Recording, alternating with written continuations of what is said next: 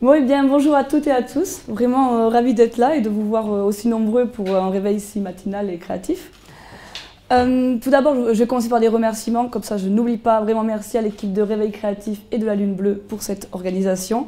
C'est vraiment avec plaisir que je suis là. Et aujourd'hui, en fait, donc, je vais vous proposer un contenu de 15-20 minutes sur, enfin, qu'on a nommé, grâce avec Benoît, scientifique, vulgaire et fier de l'être.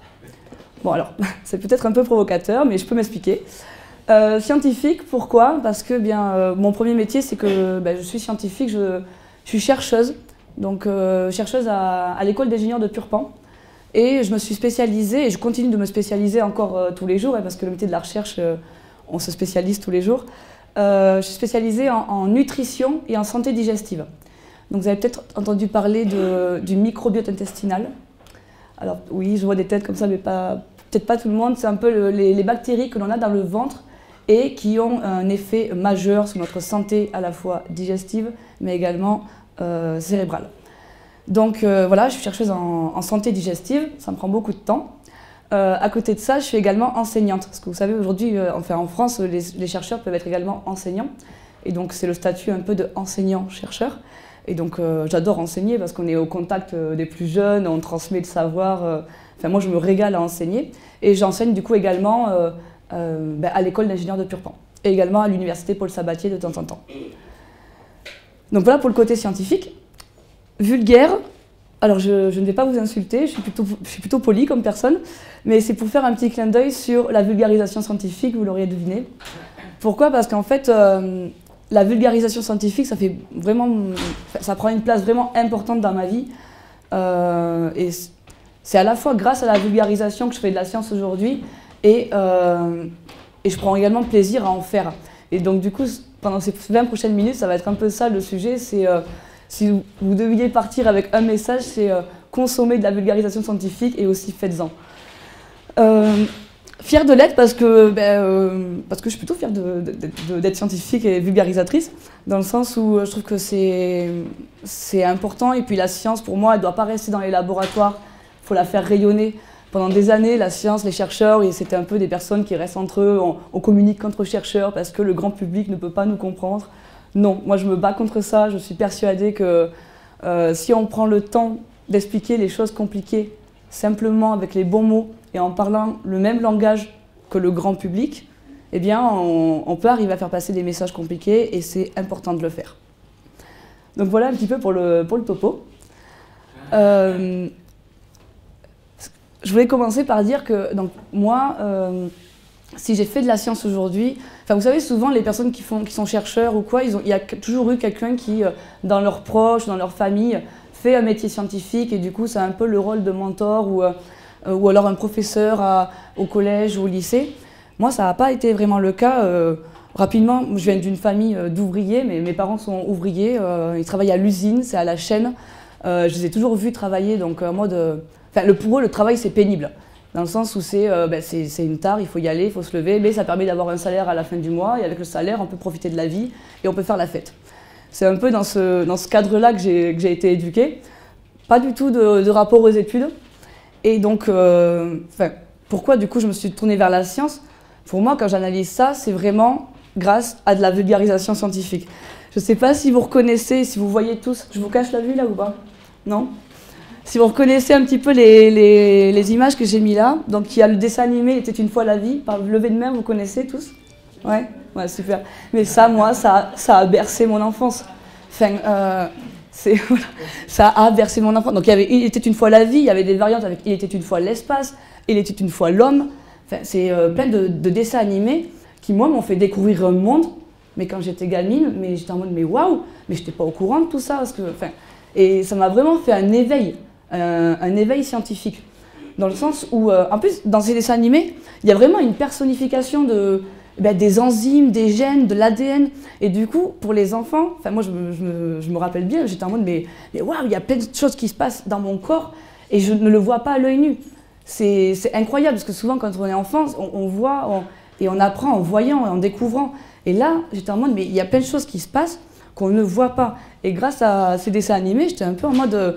Euh, mais enfin, moi, ça m'a vraiment euh, interpellée et j'ai commencé à. Enfin, vraiment, mon éveil scientifique, il s'est fait grâce à ces dessins animés à la télévision. Euh, à côté de ça, après, en grandissant, bon, c'est pas sorcier, on les présente plus, hein, mais je me souviens, pareil, tous les mercredis après-midi, les dimanches matin, mon rendez-vous, c'était C'est pas sorcier. Mon frère, il allait jouer au foot, moi, je voulais voir C'est pas sorcier. C'était une passion qui se révélait comme ça. Et, et pareil, donc je me souviens, je sais pas si vous vous souvenez, mais dans C'est pas sorcier, euh, il y avait tout le temps, donc il y avait Fred Desjamy qui faisait un show incroyable et qui nous, qui faisait découvrir euh, bah, tout le temps un monde, euh, mais de manière très professionnelle et à la fois très divertissante. Mais à chaque fois dans les épisodes, il y avait aussi tout le temps un, passage où il faisait un peu témoignage. on rencontre tel chercheur dans tel labo, on rencontre, il, faisait apparaître ça dans, dans, une télévision à côté. Et donc du coup, il y avait vraiment le témoignage de vrais gens dans la vraie vie qui travaillent dans des laboratoires. Et je me souviens particulièrement d'un épisode où ils avaient. Euh, enfin, il y avait plusieurs épisodes, je n'ai pas l'épisode marquant, mais euh, il y avait une, succession d'épisodes où ils, euh, comment parlaient du monde que l'on ne peut pas voir à l'œil nu. Donc, encore une fois, ça, ça encore. Ça, me passionnait vraiment de se dire il y a un monde microscopique que lorsqu'on, qui est partout autour de nous. Parce que voilà, c'est plein d'épisodes sur le fait que les bactéries, les micro-organismes, déjà, c'est pas que des mauvaises choses.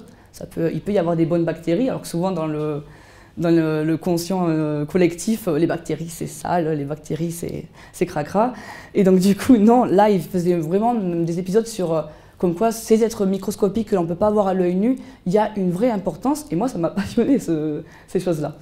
Et surtout ce que j'aime bien, c'est que hum, ces choses microscopiques, elles sont partout. Elles sont partout autour de nous, sur notre peau, dans notre corps, euh, sur ce qu'on mange, sur le fromage, dans, dans, différents, euh, aliments, partout, hein. enfin, dans la terre, dans le sol. Et en fait, il faut vraiment prendre le temps, se zoomer et se dire, ok, je ne les vois pas, mais si je prends attention, je prends un microscope, je m'adapte, je peux m'en rendre compte. Donc euh, voilà un petit peu sur ce qui m'a donné un peu l'éveil scientifique. c'est grâce à de la vulgarisation. Parce que voilà, je vous dis, mes parents euh, n'ont pas fait d'études ou des choses comme ça, donc du coup, ils ne m'avaient pas un peu inculqué le, truc des études, mais ils m'avaient quand même dit, toujours, euh, ma fille, euh, si tu, regarde, nous, on n'a pas fait d'études, on n'a pas eu le choix dans notre métier. Si tu prends le temps bah, de, de, travailler un peu à l'école et de, te donner le choix, en fait, c'est ça le luxe d'une vie, c'est d'avoir le choix. Et donc, du coup, j'ai tout fait en sorte pour pouvoir choisir mon métier, parce qu'en gros, mes parents, c'était un peu en mode le métier, on le subit. Je disais, mais non, mais en fait, si on peut choisir son métier, on ne le subit pas. Donc autant le choisir et ça devienne une passion. Et là, mais c'est un régal. Donc c'est ce que j'ai essayé de faire un peu dans mes études. Après le bac, je me suis dit, bon, ben, direction la science. Enfin, vous savez, quand on demande aux jeunes en troisième euh, qu'est-ce que vous voulez faire dans la vie, enfin, moi je me j'étais en mode, ben, j'en sais rien en fait. Euh. Enfin, c'est hyper compliqué. Déjà, j'étais chanceuse parce que je savais que je voulais faire de la science. Enfin, mais la science, euh, c'est large. Il y, a plein de choses dans la science. Mais bon, du coup, je m'étais orientée vers un bac scientifique. Et après, complètement paumée après le bac, ben, j'ai fait, euh, je me suis dit, ben, je sais pas, je vais faire de la science. Ben, du coup, je vais en fac de sciences. J'ai pris la, licence la plus générale qui soit, licence sciences de la vie. Ok, c'est un peu pour les gens qui savent pas trop où aller, mais qui ont une idée un peu, voilà, je vais faire de la science. Je vais là. Et donc, je vais là-dedans. Et en fait, là, je découvre un monde de matières. Rappelez-vous, quand on est au lycée, on a une matière, c'est SVT. C'est une matière, c'est un prof c'est, euh, je sais pas, 3-4 heures par semaine. Et là, du coup, dans la licence, euh, c'était, enfin, la SVT, elle s'est transformée en 20 matières, en 20 profs, et en fait, il y avait plein de, sous-matières dans cette matière. Et donc là, j'étais en mode, ah ouais, non mais attends, il y a, un monde de fou. Donc je me suis vraiment passionnée de, de sciences et je me suis au fur et à mesure spécialisée. Après la licence, j'ai fait le master. Après le master, j'ai travaillé euh, pendant un an en CDD. Et en fait, après, j'ai eu le goût de je travaillais en tant qu'assistante ingénieur. Et euh, donc, euh, j'ai travaillé, comment dire, j'étais tout le temps avec des, chercheurs. Et j'étais en mode, mais c'est ça que je veux faire en fait. Donc, après avoir travaillé un an, j'ai décidé de continuer et de faire un doctorat. Donc, je me suis lancée dans un doctorat, un doctorat que j'ai eu en, en 2017. Et, aujourd'hui, du coup, je travaille en tant qu'enseignant-chercheur à Purpan et je fais de la vulgarisation scientifique parce que je, j'ai l'impression que je dois à la vulgarisation, donc j'ai envie de, rendre un peu euh, ben, l'appareil en fait. Euh, et donc j'ai commencé à faire de la vulgarisation un peu avec ma famille, parce que mes parents, donc je vous l'ai dit, voilà, ils ne sont, sont pas forcément scientifiques, tout ça, mais ils, voulaient suivre ce que faisait leur fille en fait. Donc en fait, inconsciemment, pendant mes études, je, je commençais à vulgariser. Ça a commencé comme ça. Parce que j'étais en mode, je voulais pas que ma famille, enfin je dis mes parents, mais mon frère, mes proches, euh, j'étais un peu en mode, oulala, elle fait de la science, nous on connaît pas la science, on comprend rien. Non, non, mais attendez, je peux vous expliquer. Je peux essayer de prendre le temps pour euh, vous parler. Et donc en fait, inconsciemment, je commençais comme ça à, vulgariser avec mes proches. Puis, durant ma thèse, euh, est-ce que vous connaissez MT180, pareil, par levé de main? Il y a beaucoup moins de gens qui connaissent là, il y en a un petit peu. Pendant la thèse, il y a un concours qui s'appelle Ma thèse en 180, MT180 pour les intimes. Et là, le but du jeu, c'est donc c'est formel, hein, c'est institutionnel, c'est assez pro. Et euh, c'était un peu ma première expérience de vulgarisation scientifique euh, pro, euh, parce que avant ça, je faisais que avec mes potes en soirée autour d'une bière, on discute. Et donc là, MT 180, le but c'est de, de vulgariser, donc de rendre accessible sa thèse, son doctorat, son sujet, de le rendre accessible pour le grand public, c'est-à-dire pour des gens qui ne sont pas du tout dans votre milieu et qui ne qui ne connaissent pas votre, votre domaine.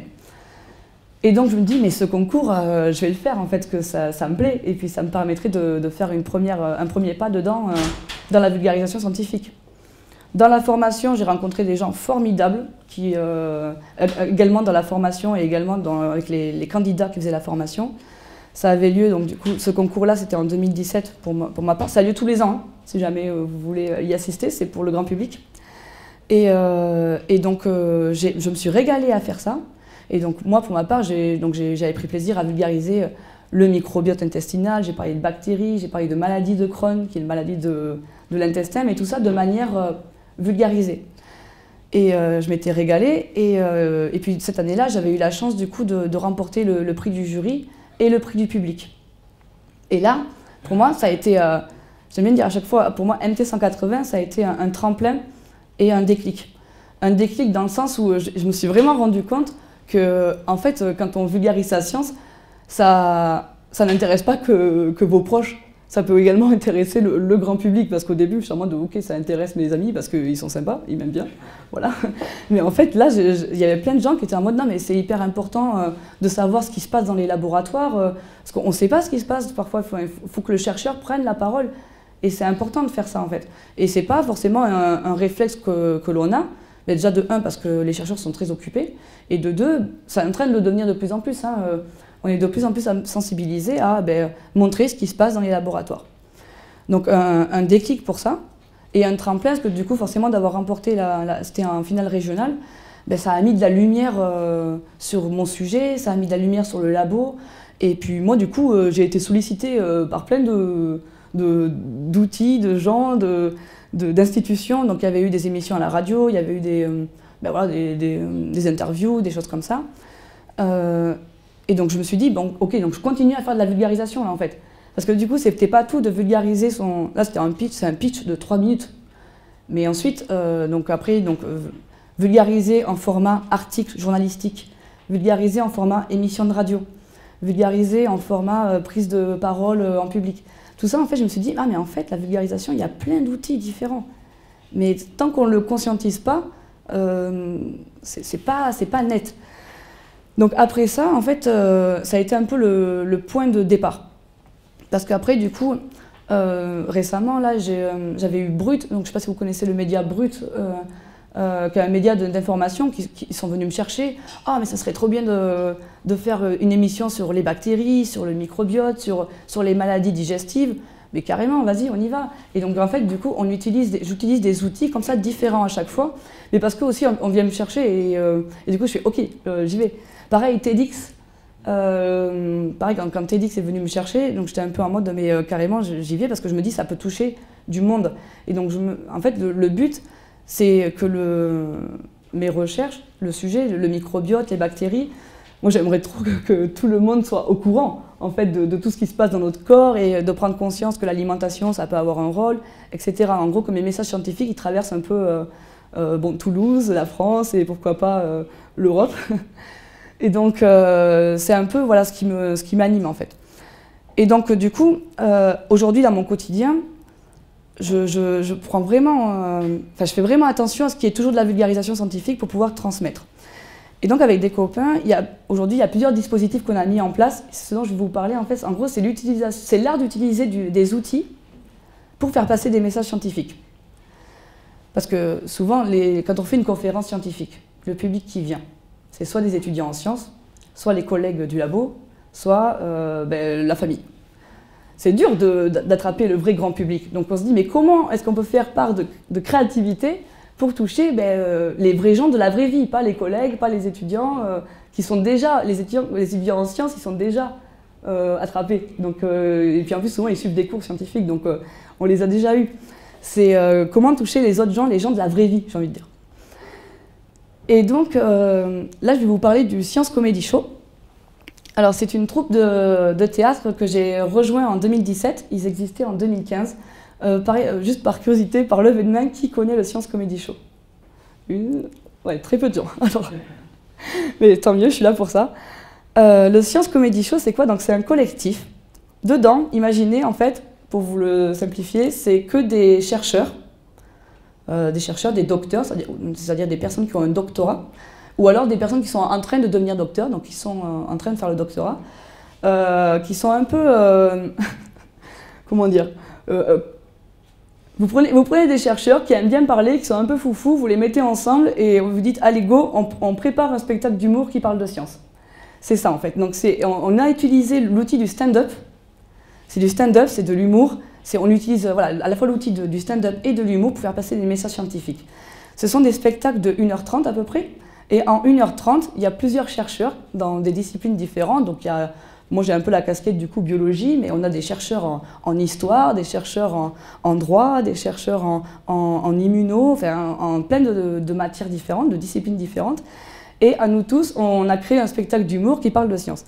Donc avant le Covid, on jouait euh, un peu partout en France et, parfois en Europe. Bon, là, le Covid, ça nous a mis un petit coup, mais on, euh, s'est quand même euh, relevé. Donc on continue à jouer un peu en France également à Toulouse. Et c'est un format qui marche bien parce qu'en fait, ça attire euh, les gens qui, sont, qui, aiment bien voir du stand-up. Ils vont voir du stand-up, et là ils disent Ah, mais ok, du coup, je reçois de la culture scientifique via l'humour. Et après, donc il y a, aussi l'aspect du coup scientifique, les gens qui veulent s'intéresser, qui ont la curiosité scientifique, et ben au lieu d'avoir une conférence un peu ennuyante, ils ont un mode ok, c'est du stand-up, c'est cool, on va rigoler, on va apprendre des choses en rigolant. Donc c'est un format qui marche plutôt bien, et, euh, on est assez fiers de ça. Donc voilà, Science Comedy Show. Ça, c'est le spectacle de la saison 1.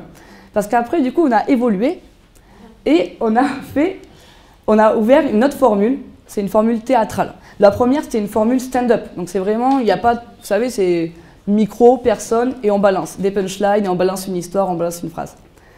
Le Dark Science Show, c'est euh, donc c'est pareil, hein, c'est le Science Comedy Show, mais c'est la saison 2. Là, c'est vraiment un outil théâtral, c'est-à-dire qu'on a ensemble, on a, on a créé une pièce de théâtre. Donc c'est une pièce de théâtre. là par contre c'est pas du tout le même humour. C'est bon, drôle, mais ça dépend si vous êtes ouvert, euh, comment dire, à, l'humour noir, au sarcasme et au cynisme. Parce que du coup, pour vous faire un peu le topo, c'est euh, un peu l'histoire de, bah, de cinq chercheurs qui, se, qui, mangent ensemble pour fêter le dernier repas de, du Nouvel An, du réveillon avant la fin du monde. Et en gros, ils discutent un peu de comment on en est arrivé là, euh, et c'est un peu le côté obscur de la science en fait. Le premier c'était le côté drôle et fun de la science, là c'est un peu le côté obscur. Donc c'est grinçant, mais c'est pas mal.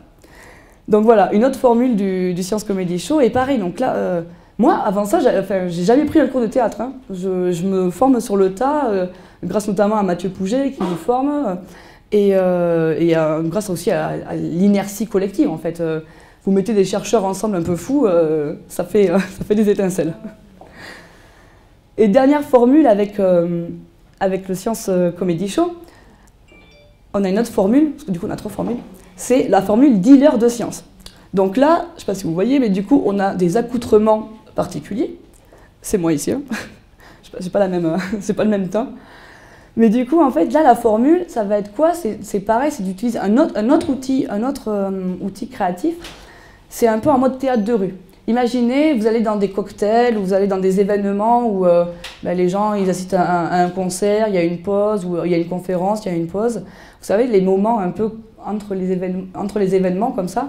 Ben, du coup, nous, on, peut venir Et en fait, on est en mode théâtre de rue où on déambule et on vient dealer de la science. Vraiment, on a pris vraiment l'image comme des dealers de drogue, sauf que au lieu de dealer de la drogue, on deal de la science.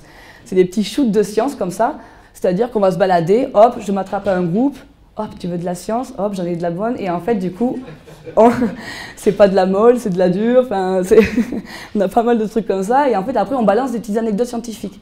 C'est vraiment des petits messages, genre en mode, en 5 minutes, hop, un petit savoir scientifique. Souvent, ça commence par est-ce que tu savais que? Est-ce que tu savais que? Ben non, je savais pas, ben voilà, maintenant tu sais. Allez, ciao, à plus. Et c'est vraiment du, petit. Euh, euh, c'est du deal, du deal de savoir comme ça là pour euh, transporter, enfin, partager un peu la science. Et pareil, ça marche bien. Et en fait, à chaque fois, je me dis, c'est en utilisant des outils un peu créatifs comme ça, soit via l'humour, soit via le, stand-up, soit via, ben là aussi, c'est un mélange d'humour et de, il y a, une notion de, costume, de personnage à jouer. On transmet un peu des savoirs et en fait, au début, la, petite anecdote scientifique, c'est une accroche. Parce qu'après, ça peut partir en débat. Enfin, euh, il y a des groupes, parfois, ils me tiennent la parole pendant 20 minutes alors que je devais rester juste 3 minutes avec eux. Mais euh, il n'y aurait pas eu cette accroche-là, peut-être qu'on n'aurait pas eu cette discussion après. Donc en gros, dans la vulgarisation et dans l'art de, euh, de, titiller un peu pour la science, c'est vraiment l'accroche qui compte. Comment je vais rentrer, comment je vais attirer le public. Ça compte beaucoup ça. Donc voilà pour le côté euh, théâtre, comédien, euh, théâtre scientifique. Euh, à côté de ça, je voulais vous parler aussi d'autre chose, parce que du coup, j'utilise plein d'outils, moi, pour, vulgariser la science. Pareil, est-ce que vous connaissez le festival Paint of Science? Peine de science en français Oui? Ouais? Ah, Un petit peu, c'est bien. Alors, peine de science, c'est quoi? Un Paint of Science? Euh, je vous l'ai dit tout à l'heure, euh, quand, on, euh, quand on fait des, des, conférences scientifiques, le public qui vient, voilà, étudiants en sciences, collègues, famille, du, famille de l'intervenant. Et je disais, mais comment, comment attirer les vrais gens de la vraie vie? La bière. La bière, ça rassemble tout le monde. Et donc là, réussi, en gros, avec Paint of Science, j'ai réussi à rassembler deux de mes passions, la bière et la science. Bon, là, c'est un peu tôt, parce qu'on est avec le réveil créatif, c'est matin. Mais euh, du coup, le principe, c'est quoi? C'est euh, donc c'est Elodie Chabrol qui a l'initiative de, ce festival. C'est un festival mondial de vulgarisation scientifique mondial. Pendant trois jours par an, qu'est-ce qui se passe? Eh bien, on privatise des bars, les, les bars de votre ville. Et donc, euh, quand je dis les bars de votre ville, c'est que du coup, ça a lieu, ça a lieu en même temps à Moscou, à, Montréal, à Paris, à Montpellier, à Toulouse, au Cambodge, enfin, dans plusieurs villes du monde. Je crois qu'il y a plus de 30 pays partenaires et en France, il y a 60 villes. Donc euh, vraiment, il y en a partout. On privatise des bars et on dit, OK, donc ce soir, dans ce bar, je mets deux chercheurs ou un chercheur et on parle de ça et en fait, il n'y a pas de, barrière. Il n'y a, pas de, a pas de blues, il n'y a pas de je sais, euh, vous savez pas. C'est vraiment, on discute. On discute tous ensemble et c'est un format qui marche super bien parce que du coup, on, boit une bière, on discute et euh, ça permet aussi au public, donc à chaque fois, il y a un thème. Et ça permet au public de se dire, ah ben là, du coup, je vais pouvoir m'adresser à un chercheur qui est dans ma région, qui travaille sur ça. Et du coup, si j'ai des questions à poser sur ce sujet-là, ben, autant les poser à un chercheur qui travaille, euh, dessus. En fait, c'est un peu le mieux placé. Donc, euh, ça va il y a tout thème. Hein. Donc, on a des thèmes, donc ça va être euh, atomes et galaxies pour parler d'astronomie, de, l'espace. on va avoir notre corps sur le corps humain, mais également des sciences humaines et sociales, comme hommes et civilisation, archéologie. Enfin, Vraiment, il y, a, tout thématique et à chaque fois, on se fait un régal euh, bah, de mettre un peu de lumière sur les chercheurs euh, de, bah, du coin, de la région. Et donc, euh, moi, j'ai le plaisir de, l'organiser à Toulouse, en fait. Donc, du coup, en mai prochain, n'hésitez pas à regarder sur le site de Paint of Science. Il y avoir, on reprend, on reprend dans les bars, parce que l'année dernière, du coup, c'était en distanciel. On a fait ça sur YouTube. Mais là, du coup, on reprend dans les bars et c'est plutôt pas mal et on passe des bonnes soirées. Donc voilà pour le festival Paint of Science. Et après, je terminerai aussi par, en parlant d'un autre format. Un format que j'utilise beaucoup aussi, c'est la radio. Parce que du coup, voilà, vous avez compris, j'adore utiliser plusieurs outils pour me dire, euh, allez, euh, j'essaye de vulgariser euh, en utilisant des, nouveaux outils. Et donc là, à la radio, donc, avant, j'animais une, émission qui s'appelait 20 mg de science, mais que je ne fais plus actuellement. Mais en gros, c'était en fait où j'interviewais des chercheurs de la région, un peu en mode, ben, toujours dans le principe de de dire, euh, ben, alors, voilà, il y, a plein de chercheurs dans notre, dans notre ville, on ne sait pas ce qu'ils font, euh, euh, ben, mettons la lumière dessus. Quoi. Et donc ça, j'ai arrêté parce qu'en fait, j'ai eu un problème de planning, je ne peux plus tout faire, donc du coup, je, fais des choix. Et en fait, j'ai préféré me concentrer sur Agro J'écoute. Donc Agro J'écoute, c'est un autre podcast que j'ai monté. Euh, c'est en collaboration avec Campus FM, donc euh, local hein, toujours. Et en fait, là, ce que j'aime bien avec ce format, c'est que je passe un peu la même. C'est-à-dire que souvent, je, je, prenais le temps de moi créer, moi euh, essayer de, de, créer du contenu. Et là, ce que j'adore, c'est que, depuis que je suis enseignante, donc je, je donnais des cours de, bah, de sciences. Je donnais des cours de microbiologie, de, biologie cellulaire, enfin bref, des, cours de sciences.